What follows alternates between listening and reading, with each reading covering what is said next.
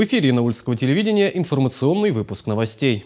Студия Альфред Валяхметов. Здравствуйте.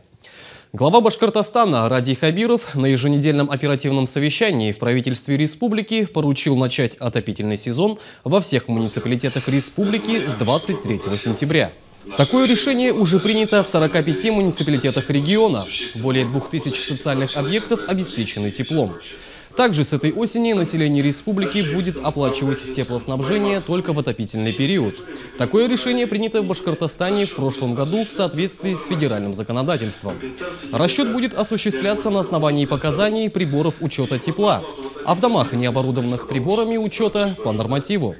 Затем на оперативном совещании был рассмотрен ход реализации мероприятия национального проекта «Экология». В рамках проекта к 2024 году в республике будет ликвидировано 20 24 несанкционированных свалки. Кроме того, на оперативном совещании был подробно рассмотрен вопрос создания комплексной системы обращения с твердыми коммунальными отходами. До 2024 года в республике запланировано строительство 16 мусосортировочных комплексов и двух объектов по утилизации отходов. Далее глава Башкортостана поручил проанализировать деятельность малого и среднего бизнеса в части уплаты налогов и сборов. Как сообщил руководитель управления Федеральной налоговой службы по Республике Башкортостан Марат Вахитов, по состоянию на 1 сентября в консолидированный бюджет республики поступило 97 миллиардов рублей налоговых платежей, что на 7,5% выше уровня аналогичного периода прошлого года. С апреля по сентябрь 2019 года в Башкортостане собрано 24 миллиона рублей штрафов за парковку на газонах. Всего за этот период административными комиссиями выявлено 33 тысячи случаев размещения транспортных средств на озелененных территориях. К ответственности привлечены 19 тысяч человек. И под конец оперативки была озвучена тема перехода республики на цифровое эфирное телевизионное вещание 14 октября. Башкортостан – единственный регион, в котором государство устанавливает и настраивает спутниковое оборудование под ключ. В других субъектах Российской Федерации люди решают этот вопрос самостоятельно. Мерами государственной поддержки воспользовались более 7 тысяч жителей республики. Спутниковое оборудование установлено более чем в 5000 домохозяйств. Компенсацию на приобретение цифровых приставок получили 1723 человека. 37-е заседание Совета района прошло в зале заседаний администрации сегодня. Депутаты заслушали доклады по восьми вопросам. Так, заместитель главы администрации района по сельскому хозяйству Рустам Алимгафаров доложил о ходе уборочных работ и итогах заготовки кормов в сельхозпредприятиях района. О результатах проведения диспансеризации населения района за 8 месяцев текущего года рассказал главный врач Янаульской центральной районной больницы Мурат Авзалов. С реализацией муниципальной программы развития муниципального телевидения и радиовещания в районе ознакомила директор учреждения Янаульское телевидение и радио Республики Башкортостан Наталья Хамидулина. Также депутатам предлагалось внести изменения в решение Совета о бюджете района и в положение в наградах и поощрениях района. 21 сентября во всем мире празднуется День чистоты. В этот день каждый желающий мог внести свою лепту, чтобы окружающий нас мир стал чище и краше. В нашем районе в экологической акции участвовало более 1600 человек. Одной из самых масштабных площадок экологической акции в Янауле стала северная часть города. Так, на улице Якутова трудилось более 200 человек. В основном это коллективы детских садов города, сотрудники Дворца молодежи и учреждений физической культуры. Каждый участник субботника постарался сделать и эту территорию чистой и ухоженной. Цель сегодняшней акции вот, – вырубка э, прилегающей территории при въезде в микрорайон э, Якутова от зарослей. Активно все работают сегодняшней акции вот на данном участке задействовано порядке 200 человек. Ждем технику. Будем дальше продолжать. В этот день всюду царило оживление. На уборку территории вышли 126 коллективов района. Каждый внес свой посильный вклад в общее дело. За день было собрано более 460 тонн мусора. Проведение субботников – это наглядный пример экологического воспитания, бережного отношения к окружающей среде. Но всегда действует главная прописная истина. Чисто не там, где убирают, а там, где не мусорят. Гульнара Сиддикова, Ильяна Белалова, Нил Сафин, служба новостей Янаульского телевидения. Мероприятия, посвященные Году театра, продолжаются. Стартовал фестиваль-марафон любительских театров нашей республики. В пятницу Народный театр «Хаят» показал свой спектакль перед зрителями города Агидель. Перенять эстафету у янаульцев приехал Калтасинский театр. Мы приветствуем вас на торжественной церемонии передачи штандарта Республиканского фестиваля марафона любительских театров Республики Башкортостан, посвященного году театра.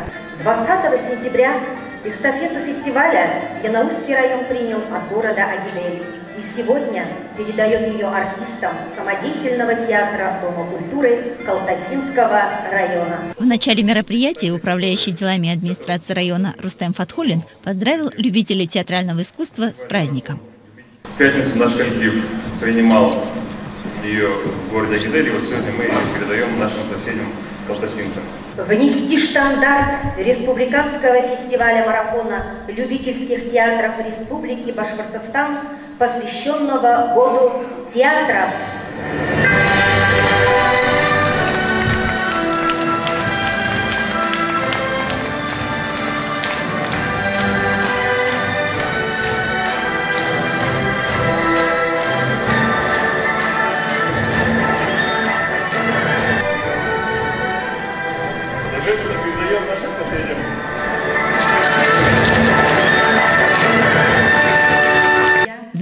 Главы администрации Калтасинского района по социальным вопросам Елена Алексеева поприветствовала зрителей, пожелала им доброго и приятного вечера и попросила поддержать самодеятельных артистов.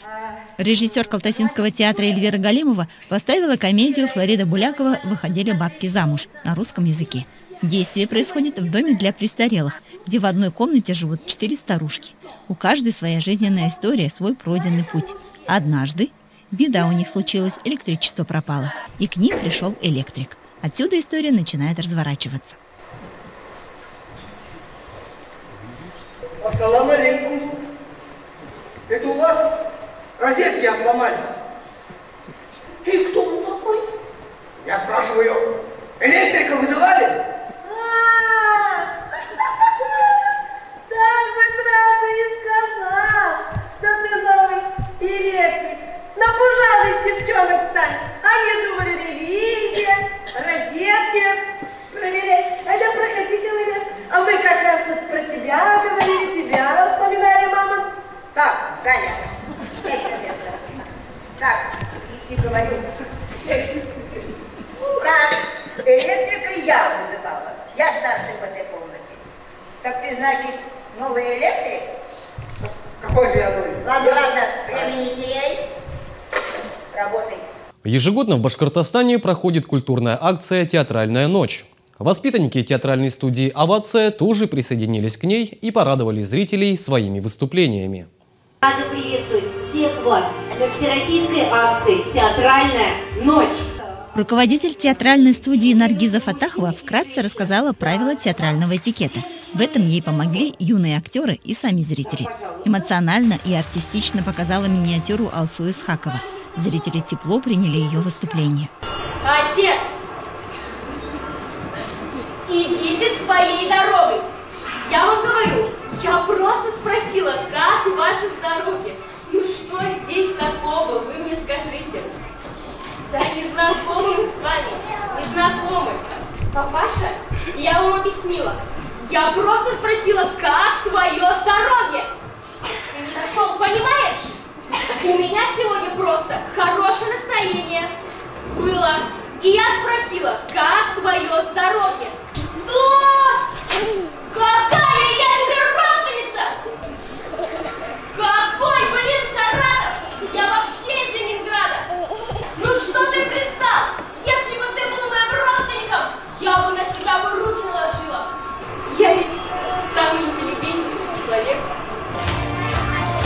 Прежде всего для меня театр – это как бы удовольствие. Мне приносит очень большое удовольствие выступление на сцене, когда я передаю людям какие-то свои эмоции. Они могут вместе со мной плакать, смеяться, вообще переживать все мои эмоции. И мне это очень нравится. Миниатюру мне выбрала Наргиза Камиловна, мы с ней вместе ее дорабатывали, ходили также на репетиции. Это очень большой кропотливый труд.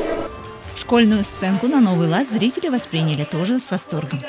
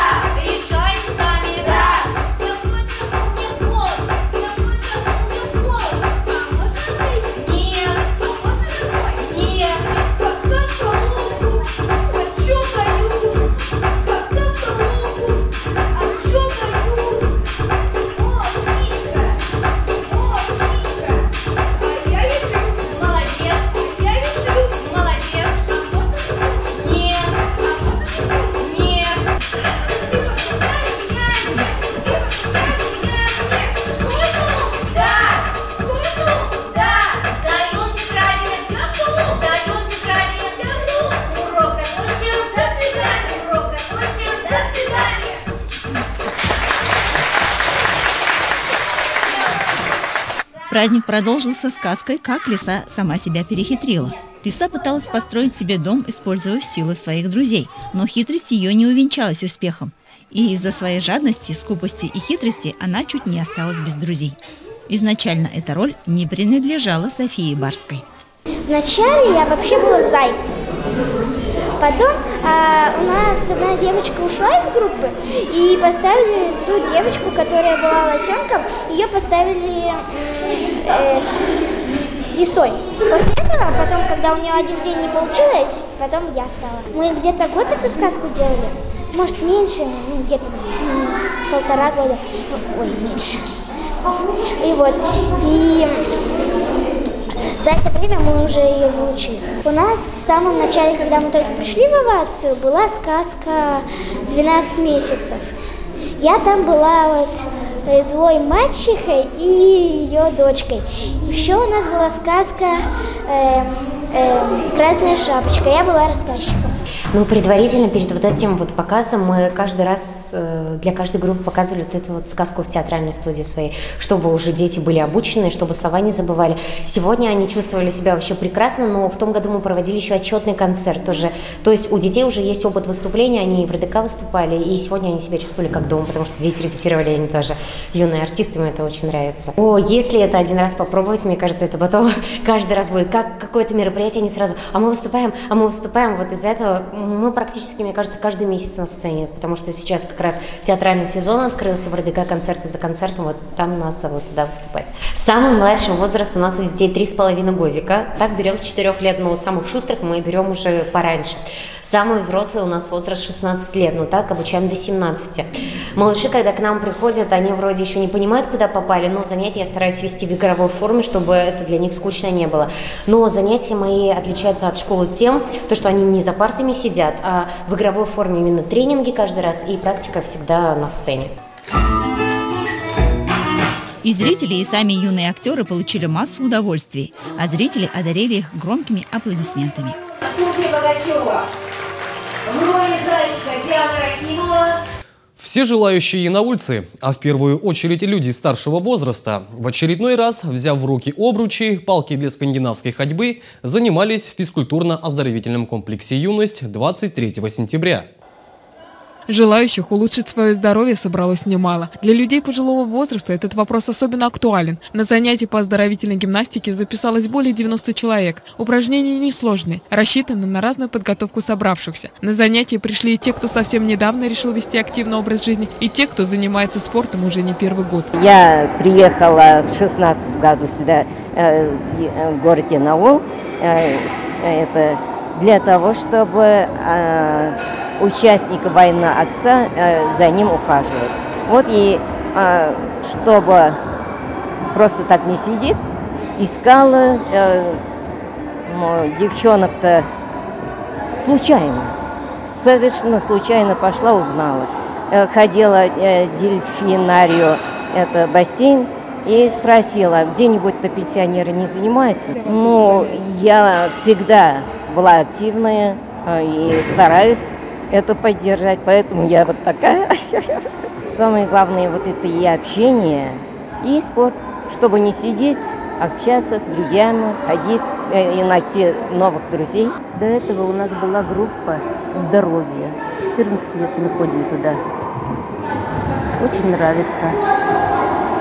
Но сейчас уже по другой программе будем заниматься. Совет женщин же выиграл тендер на 200 с лишним тысяч. Закупили для нас снаряды, палки, мечи, лыжи зимой вот будем ходить. Для, для меня это праздник, как на праздник я хожу на занятия. Я жду этих дней, когда будет физкультура.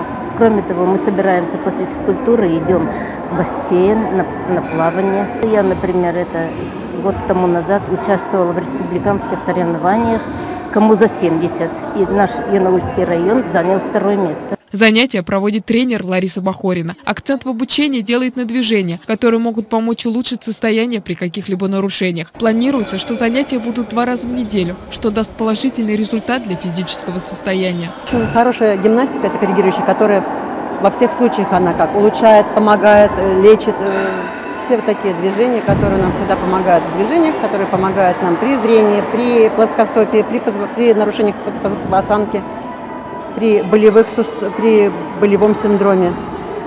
Вот эти все упражнения у нас, которые мы готовим и стараемся, чтобы взрослые люди, дети, чтобы все эти упражнения у нас старались выполнять. Со взрослым поколением, вот именно вот так, в таком возрасте, очень интересно работать. Они такие послушные, они все слушают, они позитивные, они все выполняют действительно на все 150%. А после желающие отправились на занятия по скандинавской ходьбе. Популярный в настоящее время вид спорта привлекает все большее количество людей своей простотой и в то же время пользой для здоровья. Обязательным условием при этом является правильная ходьба. Эту несложную науку и постигают участники проекта. С каждым выполненным заданием, двигаясь навстречу к своему желанному здоровью и долголетию. Гульнара Сиддикова, Аяс Хабибулин, служба новостей Янаульского телевидения.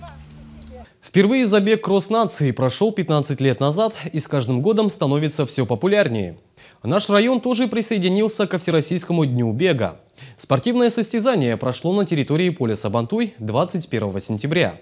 Участниками кросса стали дошкольники, учащиеся общеобразовательных учреждений, а также взрослые любители бега мастера спорта советского... Традиционно началом состязания стала торжественная часть. Перед спортсменами выступила начальник отдела по молодежной политике, спорту и туризму администрации района Альбина Соляхова. В районе проводятся массовые мероприятия, массовые полумарафоны, кроссы, и участники которых участником которых может стать любой желающий, вне зависимости от возраста и уровня спортивной подготовки. Участники ознакомились с порядком проведения соревнований, прослушали гимн.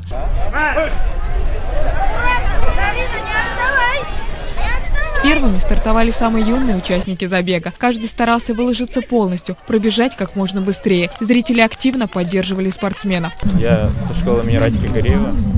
Занимаюсь четвертого класса, бегаю в легкой атлетике. Третий год на этих подряд на соревнованиях, на 9 мая бегал. Надеюсь на победу, занять призовое место. Так увлекаюсь баскетболом. Различными видами спорта, все нравится. С первой школы. В этом кроссе я участвую в первый раз. Спортом я занимаюсь с первого класса.